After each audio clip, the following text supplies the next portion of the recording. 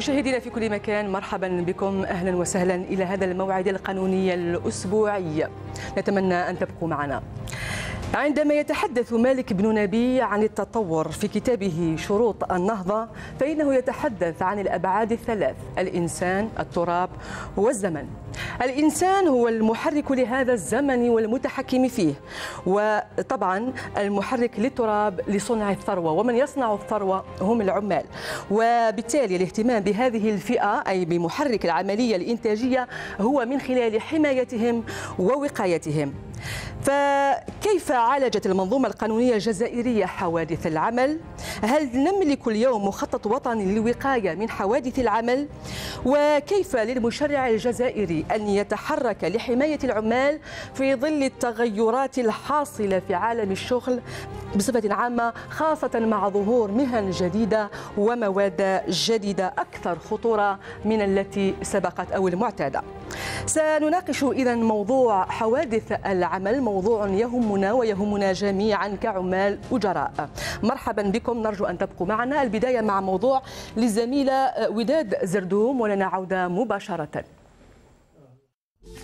يتعرض العمال يوميا إلى حوادث عمل تتفاوت خطورتها من عامل إلى آخر حسب طبيعة العمل الذي يؤديه حيث تسجل مصالح الضمان الاجتماعي العديد من الحالات.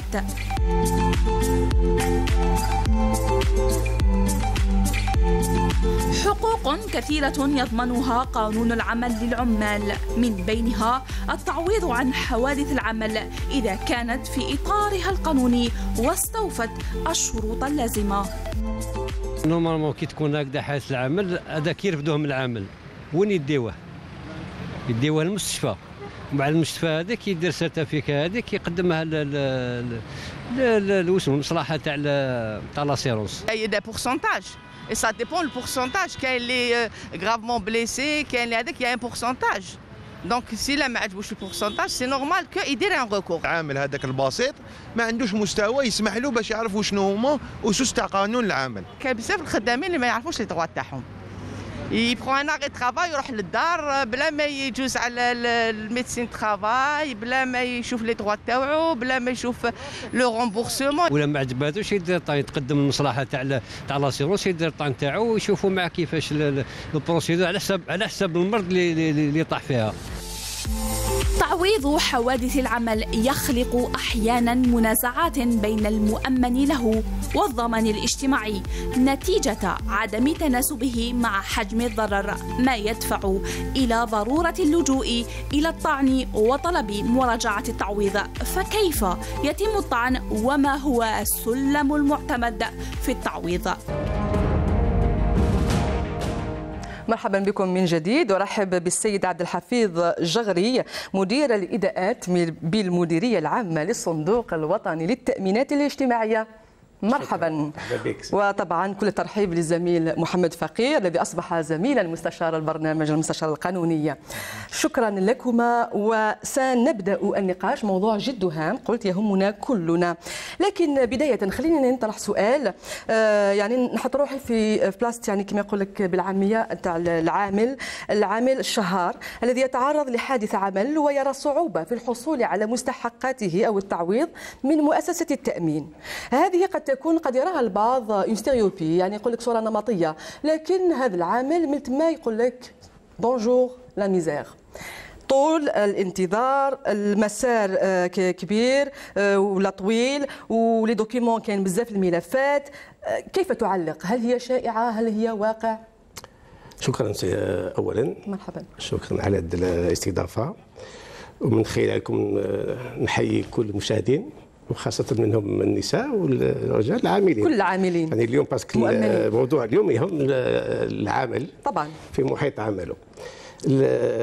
أحسن نظام تغطية ضد هو الوقاية ضد هذه الحوادث.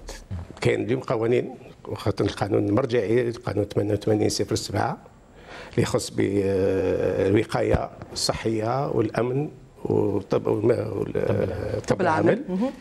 اللي حتى على ضرورة حماية العمل في صحته وفي سلامته في محيط عمله. لأن حقيقة نشارك الرأي ال- العامل الوحيد اليوم اللي يخلق ثروة هو العامل البشري. آه، صحيح. والقوانين اليوم الموجودة هي قوانين كاملة تحت ارباب العمل المؤسسات باش يهيئوا الظروف العمل. لجعل من الظروف ليس آه، مأساة ولكن حقيقة وين قادر العامل يبرز بدون ما يحط نفسه في الخطر. لكن علاش يشكي هذا العامل يقول لك آه، راح تكون مسيرة طويلة وعنده عائلة وتنتظر ينتظر تعويض. طيب. آه، كنت واجب علي أن نوضح هذا الشيء بأن العامل الوقائي هو الأساس. ولكن الوقايه الحياة خير من العلاج. الحياة نعرفها. ممكن جدا مفاجآت. أن يصرع حادث عمل في هذه الحالة. كاين نظام اللي يوفر هذه الحماية ضد هذا. الحماية تكون كيفاش؟ أن العامل عندما يكون عرضة لحادث عمل. وهنا بودي أن أشير أن النظام الضمان الاجتماعي في هذا المجال هو نظام شمولي بحكم أنه يوفر هذه التغطية. حتى للناس اللي ما عندهمش حتى صفة عامل وتأتى صفة مؤمن باش نشوفوا بلي أن النظام الضمان الاجتماعي شمولي شمولي. ولكن بقدر ما هو شمولي بقدر ما الظروف وال- فيما يخص آه، إثبات الحدث العمل هو آه، شروط قانونية سنفصل في كل هذه. النقاط دونك كل عامل اللي عرضة لحدث عمل واعترفت به لهيئة الضمان الاجتماعي. كأن كعام حادث عمل عنده الحق للتعويض. التعويض يكون على مهما طالت المدة يعني. دوك نشوفوا المدة parce que على لازم لين سنذهب. parce que قلت لك كلمه ما غاديش نشارك فيها. نعم تفضل. كي يصرى حادث عمل كان فيه آه، عجز مؤقت. d'accord؟ في هذه الحالة التعويض واش يكون؟ يكون على الأداءات اليومية. تاع الراتب تاعو اللي ضاع له بحكم هذا العجز. أما فيما يخص الريع لازم يكون الجبر سيتادير يكون آه،. استج... آه، آه، السيد اسمه المؤمن العامل اللي كان ضحية لهذا لازم له وقت باش يبرى والطبيب المستشار ما يقدرش يحدد نسبة العجز طالما الضرر ما براش في بعض الأحيان هذه المدة تكون طويلة جدا. المهم نعم. أنه يستفاد بالامتيازات تاعو فيما يخص تعويض الراتب نعم. من النهار الأول حتى نهار السيد عبد الحفيظ جغري مدير الاداءات بالمديريه العام بالمديريه العامه للصندوق الوطني للتأمينات. آه، إذا طرحت لك سؤال آه، إحصائيات. اليوم هل نملك إحصائيات عن آه، عدد الحوادث التي تقع في مؤسساتنا المهنية؟ أكيد. وماذا تقول؟ في 2019 سجلنا أكثر من 49 ألف حادث في 2020 حتى الماضي أكتوبر 23 ألف حادث مصرح به لهذا الضمان الاجتماعي. نعم. التكفل بهذه الحوادث.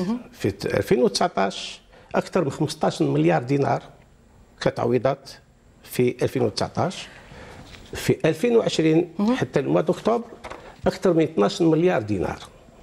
باش تراجعت. ننفي ننفي شوية. أنا هذا الخبر اللي فيه ممكن جدا تكون فيه تماطؤ ممكن جدا وهذا ماهوش من إخلاقيات المؤسسة اللي نمثلها.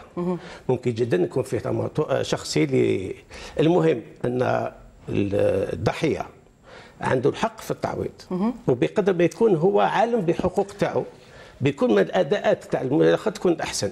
طيب قبل أن نذهب إلى ال- الفقرة القانونية التي آه، تنظم هذه هذه الحوادث أود أن أعرف منك آه، سيد جغري من هم الأشخاص الذين لهم الحق في التعويض؟ هل كلنا؟ بما فيه الغير المؤمنين؟ كل العمال؟ قلت قبيلات هو اولا العمال. وفي بعض الأحيان نظام الضمان الاجتماعي يعطي الحق للتغطية حتى للناس اللي ما عندهمش صفة عامل مثل الطلبه مثل م- ال- ال- لي زيلاف يعني ال- التلاميذ التلاميذ المؤسسات. المؤسسات عندهم الحمايه ضد حوادث العمل وفي بعض الأحيان هذه التغطيه تروح حتى للناس اللي ما عندوش حتى الصفه تاع مؤمن اجتماعي. لكل مواطن ممكن المواطن اللي يساهم في إنقاذ شخص.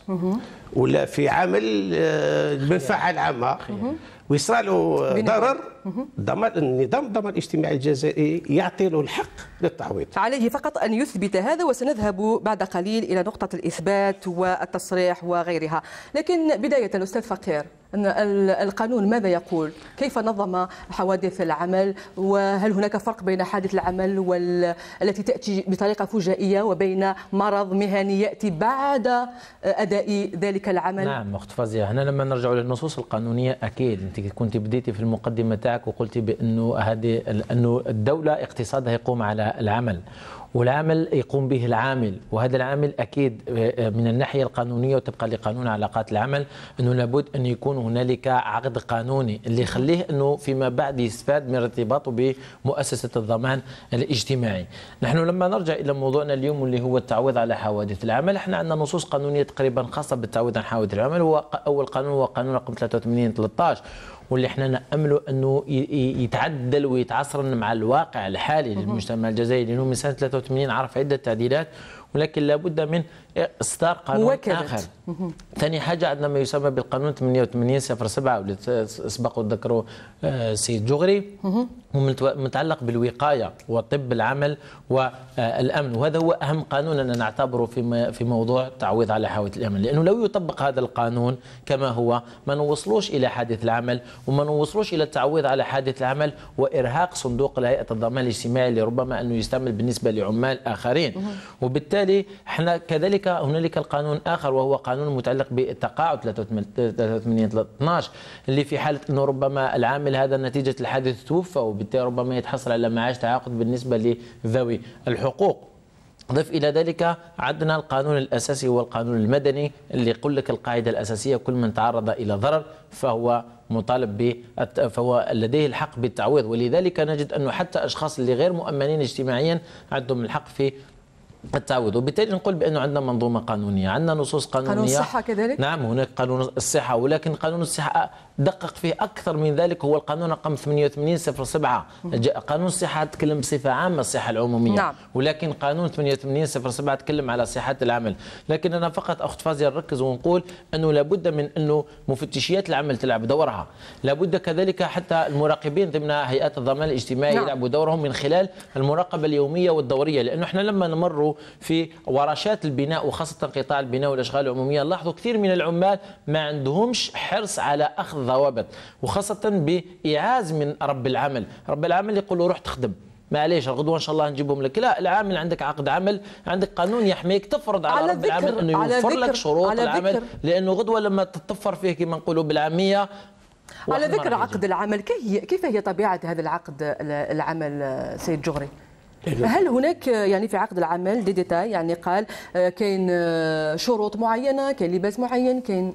قال آه، فيما يخص الوقاية من حالة العمل وتطبيق القانون 88 07 يجبر أرباب العمل لتهيئه الظروف باش يكون العامل في صحه في صحته وفي سلامته وفي بيئة آمنة. ويحتم عليه باش يعطي لكل عامل الشخصية للحماية الشخصية. les outils personnels de protection هذا هذا قانون إجباري. آه، وهذا يقع على عاتق أرباب العمل. الدور تاعنا كهيئة للتعويض. كاينة مديرية في الضمان الاجتماعي نسميها مديرية الوقاية من حاله العمل اللي عندها دور أساسي بالتنسيق مع مفتشية العمل في إطار المراقبة الدورية باش يشوفوا هل أرباب العمل يحترموا هذه الاجراءات ولا لا. وفي بعض الأحيان ندخلوا باش en conseil باش ننصحوا absolument d'accompagnement باش مرافقة. أرباب العمل في آه، احترام الشروط القانونية للحماية العمل في صحته وسلامته في المحيط العمل تاعو طيب نذهب إلى نقطة تحدثت على رقم بالنسبة لإحصائيات حوادث العمل. ما هي القطاعات التي يمسها الحوادث وما هي الأنواع؟ هل هناك أنواع جديدة مثلا في حوادث العمل؟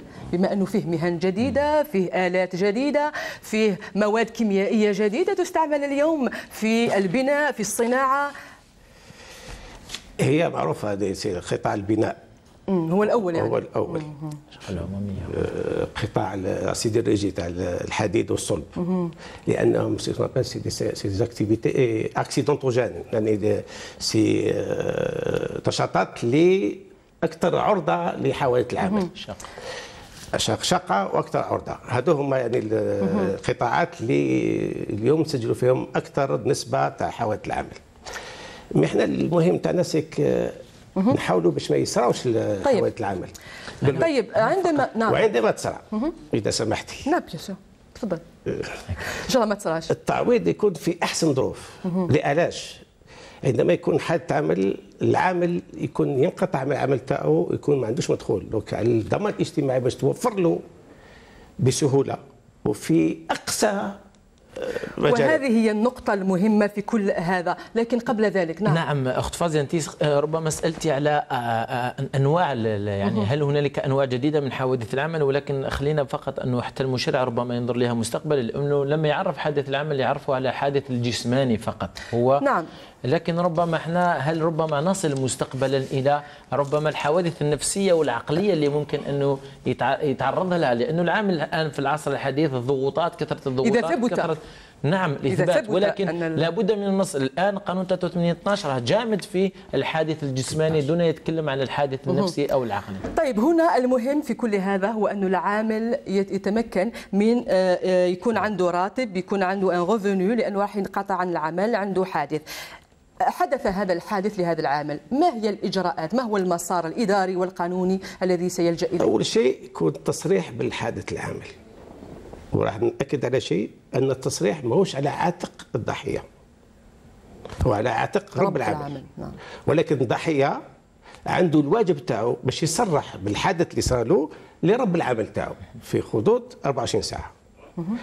رب العمل واجب عليه باش يصرح لهيئه الضمان الاجتماعي في 48 ساعة من صدور الحادث. هذا هو القانون. هذا الحادث آه، هذا التصريح يسمح لنا كهيئة باش نقوموا بالتحريات باش نشوفوا هل حقيقة الحادث عنده طابع مهني ولا لا. أنا حقيقة نشاطرك آه، الموقف تاعك. فيما يخص آه، ولكن اليوم القانون الجزائري. يعترف بالحادث المادي. الجسماني. الخارجي آه. والمفاجئ. والفجائي نعم. واللي يطرأ في مكان العمل. العمل أو في مكان واحد العمل ولا في مكان المسار. باش نرجعوا ليه. ولكن زيد لازم يكون فيه ضرر جسماني. هذو هما الشروط اليوم.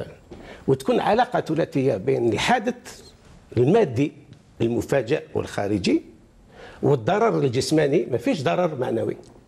لازم يكون ضرر جسماني وتكون علاقة مرتبطه مع العمل. هذو هما الشروط الثلاث. ثلاث. كي تكون متوفرة الشروط هذه يثبت الطابع المهني للحادث ونفتح المجال للتعويض. التعويض كما قلت يكون على مرحلة المرحلة الأولى سي التعويض ال- العجز المؤقت. وفي المرحلة الثانية التعويض على العجز الدائم عندما طبيب المع... طبيب المستشار يحدد نسبة العطب اللي الواجب علينا باش ن- نعوضوها هذا هو نعود نعود إلى نقطة التصريح. نعم تفضل. فقط فازي أنا فقط بهذه ال- هذه النقطة اللي ثرتيها أنه لابد اننا نخبروا العمال لأنه كثير من العمال ربما على نيتهم إحنا كما نقولوا أنه يتعرض لحادث عمل ولو يقول لك أن هذا خفيف يعني قست غير راسي نروح للدار. رب العمل يقول له روح للدار قعد وأروح لا أنا نقول لك روح صرح بلغ رب العامل. وإذا ما بلغش رب العمل لأنه لماذا؟ لأنه عندها أثر. أثر الأول إنه ربما راح يصالك شيء مفاجئ فيما بعد. بالرغم من أنك عندك ربع سنين ولكن راح تحافظ على باقي العمال كيف لماذا ذلك؟ أربع سنين؟ القانون يقول لك أربع سنوات حتى تقادم الأداءات يقول لك أربع سنوات. نعم. ولكن أنا الهدف تاعي مش هذا الهدف هو أنه لما يصرح يخلي هيئة الضمان الاجتماعي من بعد تراقب ذلك المصنع. بهيئة الضمان الاجتماعي باشتراك مع مفتشية العمل تخلي لأنه رب العامل ماذا به ما يصرحش لأنه ما يخليش المصنع نتاعو تحت هيئة أعين هيئة الضمان الاجتماعي ولا مفتش العمل. خاصة إذا بالرغم كانت من فيه برقابة تصريحات. مثلا عدة عمال من نفس المؤسسة نعم مثلا يجعل تلك المؤسسة نقطة سوداء. يعني نقطة سوداء لأنه يقول تحت لك الأعين تحت المجهر تحت المجهر. نعم تفضل فيما يخص التصريح هو مهم جدا مهم جدا التصريح كنت سأعود إلى هذه بس النقطة ممكن جدا عندما تكون حادث ما يكونش فيه ضرر والعامل ما يشعرش حالي. بحالة. ولكن ممكن عنده آثار بعدية. لازم يكون فيها تصريح. طيب التصريح ماذا يوضع في التصريح؟ هل كاين spécimen يعني اللي لازم يعمره هل لابد عليه أن يستشير بمحامي أو برجل قانون؟ عندما يتعلق مثلا الأمر كنت نحن نعطيك مثال شخص خرج من بيته خذا سيارته باش يروح للعمل لكن il a fait une déviation يعني ربما وحط وليده مثلا يروح يقرأ ومن بعد عاود ولا الط- الطريق وذهب وصار له حادث هنا. آه، يعني في هذا ربما في هذا التصريح وما عطاش هذا هذه النقاط ال- الجانبية. في المادة 16 من قانون 83 13 يعطي الحق للضمان الاجتماعي باش ياخذ القرار في 20 يوم. في هذه ال 20 يوم نديروا تحريات. أنتم ديروا تحريات. باش نشوفوا هل حقيقة. التصريح مقبول في إطار يتم التحقيق في هذا التصريح. إجباري. علاش؟ ممكن يعني. جدا نكونوا أمام تصريحات كاذبة. وفيها اموال اللي راح. تصرف. نعم للأسف. لازم هذه الاموال باش نحافظوا عليها وباش نصرفوها في في قانون لازم تكون عندنا. تروح لمواليها. دونك التصريح إجباري وأساسي. في هذا القانون يجبر. نعم. c'est pas facultatif يعني ماهوش آه، إجباري لازم الضحية يقوم بالتصريح أمام في 24 ساعة للمؤسسة تاعو والمؤسسة في 48 ساعة لازم تدير التصريح أمام هيئة الضمان الاجتماعي. ونأكد على الشيء هذا أن التصريح لدى هيئة الضمان الاجتماعي على عاتق رب العمل. وفي حالة وإن رب العمل ما قامش بالواجب تاعه الضحية أو من شخص ينوب عليه ولا ممثل تاعو تاع سنديكا ولا تاع ممثل تاع مفتي العمل عندهم الحق باش يصرحوا في مدة أربع سنين. باش تشوف النظام يوفر كل هذه السهولات باش تكون. اذا يتم التحقيق في البيانات التي توضع في أكيد. هذا ال- في هذا التصريح. ثم بعد ذلك تأتي مرحلة التعويض. كيف يتم التعويض؟ ما هي نسب التعويض؟ ثم هل هناك تعويض أم هناك راتب أم هناك؟ كيف تحدد كل هذه المسائل؟ عكس التأمين على المرض التعويض يكون 100% فيما يخص الكشوفات والعلاجات. الأدوية؟ في الأدوية. وفي يخص الراتب اللي لازم نعوضوه في حالة العجز المؤقت. 100% من النهار الأول. راتب يتعوض له 100% إذا ثبت آه، طابع المهني للحادث هذا في المرحلة الأولى. لازم يجوز وقت باش الطبيب يحدد نسبة العجز اللي راح نمدوها له باش نعوضوا له الضرر. نعم. وعلى حساب الضرر إذا فيه آه، نسبة من 10 100 من العشرة الفوق راح يكون فيه ريع شهري يتمد للضحية. حتى يفهم المواطن الريع والتعويض. la rente. la rente. la rente c'est ريع. التعويض فيما يخص ال- ال- العجز ال- ال- عن الحادث. المؤقت. المؤقت. عنده ضرر ما يخدمش يا أخي يحبس الخدمة تاعو كي يحبس الخدمة الراتب تاعو راح رب العمل ما يخلصلوش بحكم هذا الحادث. الضمان الاجتماعي راح يعوض له الراتب تاعو اللي ضاع له بحكم عجز العمل- بحكم بسبب حادث العمل. طيب، نعم. ويكون نسبة نعم. 100% من النهار الأول. عكس التعويض عن المرض اللي النسبة هي 50% من النهار الأول حتى 15 يوم. 15 يوم 100% دونك فيما يخص الحدث العمل التعويض يكون بنسبة 100% من النهار الأول. طيب كيف يحدد نسبة العجز؟ آه، الخبرة الطبية و إذا كان نسبة العجز. نعم. c'est طبيب المستشار. طبيب مستشار هو المعطيات الطبيه طب العمل؟ هي لا. أو طبيب الطبيب المستشار. الذي المستشار. نعم. الطبيب المعالج المعالج. للضحية. يقول باللي ان الضحيه عنده نسبة العجز و- كي يجوز للمراقبة الطبية عند الطبيب المراقب الضمان الاجتماعي يحدد له نسبة العجز اللي هو في son âme et conscience بالضمير تاعو آه، تقول هي الأحسن للتعويض إذا الضحيه قبل بهذه النسبة. الحمد لله. راح يكون تعويض إذا بدون كان. ما قبلش بهذا إذا النسبة؟ ماهوش راضي على هذه النسبة عنده الحق باش يدير الطعن طعن يطعن. يطعن في كل كل القرارات هذا الضمان الاجتماعي قابله للطعن أين يطعن وأمام أي جهة وكيف؟ نعم. تفضل. أستاذ تفضل. ربما هنا نرجع إلى القانون رقم 08 8 واللي متعلق بالمنازعات نعم. الضمان منازعات الاجتماعي وهنا اللي عندنا ثلاث أنواع من المنازعات هي المنازعات الطبية والمنازعات العامة والمنازعات آه، التق- التقنية. التقنية ذات الطابع الطبي.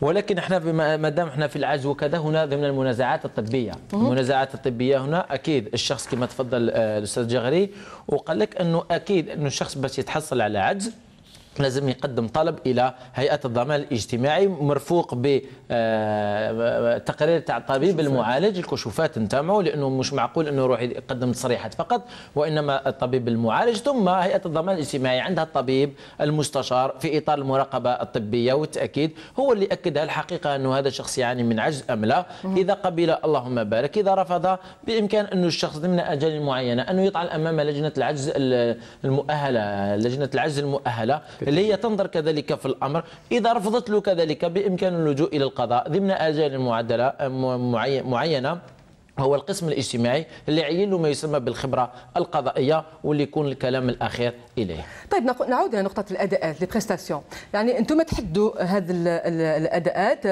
آه، حسب حسب شروط معينة حسب حدوث قانون اللي حدد. القانون نعم يعني الهيئة المؤسسة نعم والقانون. وهناك شخص يسأل ما هو الفرق بين هذا التعويض اللي تحصلت عليه والأداءات كذلك؟ الأداءات حتى يفهمنا المواطن بصفة عامة الأداءات. الأداءات تكون. ممكن تكون أداءات عينية. الكشوفات الأدوية العلاج آه، توسع. هذو ما صنع هذو هما. الأداءات العينيه على نعم على عاتق ال- الصندوق هذا عاتق الصندوق نعم. نعوضوها بصفه 100% نعم. بدون إشكال. جميل. وكاين الأداءات النقدية النقدية سي سالير الأجور. اللي تضيع بحكم المرض ولا بحكم العجز آه، بعد الحدث أو الدائم نعم صح الحاجات النقدية هي نوعين الأجور وكذلك الريع. في حالة ما يثبت أنه عنده ضرر وهذا الضرر. المس- المستشار أعطى نسبة للتعويض. إذا كان هذا إذا كان 30% 30% تاع الأجر تاعو. تاع الأجر تاعه إذا كان الشخص ربما عنده عجز عجز مؤقت لكن مع الوقت هذا العجز آه، يعني تفاقم هذا العجز. ممكن جدا. في التفاقم عنده الحق. باش يقدم. يراجع يراجع نسبة العجز نعم. المراجعة قانونية سواء تحسنت الحالة الصحية أو تفاقمت. في حالة انتكاس نعم.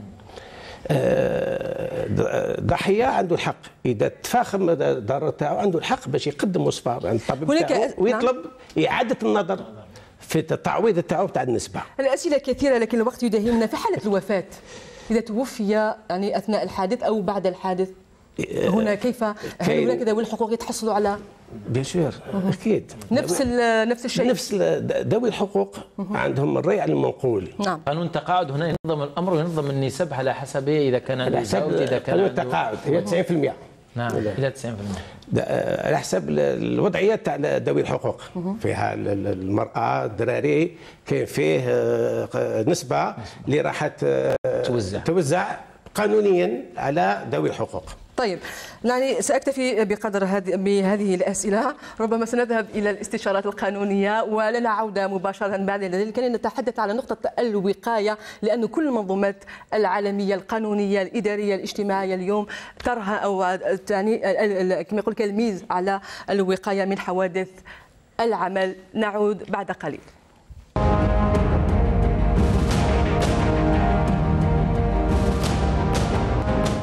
ربما سنكتفي بسؤال واحد لمواطن يسأل صدر ضدي خمسة أحكام قضائية متعلقة بعدة جرائم منها إصدار شيك بدون رصيد.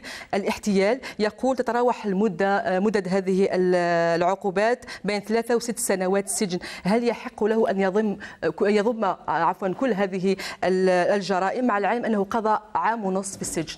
نعم أخت فازي هذا معروف عند المساجين إنه خاصة المسبوقين قضائيا أو اللي عندهم عدة أحكام يتكلم عليه ما يسمى بضم العقوبات. وهنا نرجع إلى قانون العقوبات من المواد رقم 34 إلى غاية المادة 38 بأنه نقول له من حقك فقط هنالك شروط تقريبا شرطين. أول شرط أنه تكون عندك الأحكام النهائية يعني استنفذت كل أحكام طرق الطعن العادية والغير العادية. وثاني شيء أنك ترفع الدعوة أو ترفع الطلب ضم العقوبات إلى آخر جهة قضائية فصلت لك في حكم وأكيد انه القاضي في هذه الحالة بعد دراسة الملف سربما انه يعطيك العقوبة القصوى. في هذه الحالة ربما ما دام قال لك أكثر عقوبة هي ست سنوات اذا راح يعطيك ست سنوات عندك سنة ونصف إذا يبقى لك ربع سنوات ونصف. شكرا نكتفي بهذا القدر نلقاك الأسبوع المقبل. دائما يمكنكم مراسلتنا والتفاعل معنا عبر عناوين البرنامج. نكون سعداء لاستقبال أسئلتكم واستفهاماتكم القانونية. في سؤال أخير آه، السيد آه، جغري.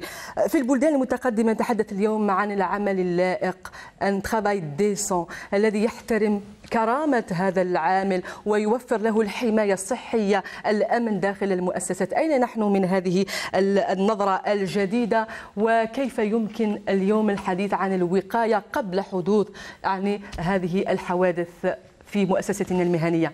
أه ولو أنه مش من اختصاصي ولكن أه ممكن أن نصرح باللي في الجزائر اليوم كاين قوانين اللي تضمن صحة وسلامة العمل في محيط واللي تحث أرباب العمل باش يوفروا أحسن ظروف اللي تسمح للامل باش يمد القدرات تاعو بصفة يعني كاملة.